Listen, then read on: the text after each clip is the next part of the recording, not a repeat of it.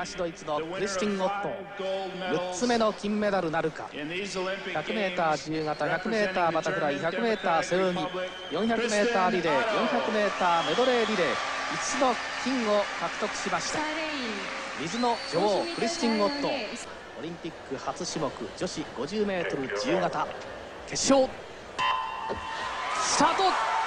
両分いいスタート王者が次々と敗れる中でオリンピックに歴史を残す女王もいました。クリスティン・オット。出場した全てのレースで金メダルを獲得。新種目女子 50m 自由形で史上初めての独冠に挑みます。おっと出た。さあ最後の勝負はどうか。おっとわずかにリードしている。おっとリードしている。さあタッチは誰が速いか。勝ったのはクリスティン・オット。25秒496つ目の金メダル獲得。素晴らしいレースでした。6つ目の金メダル水の女王クリスティン・ゴット。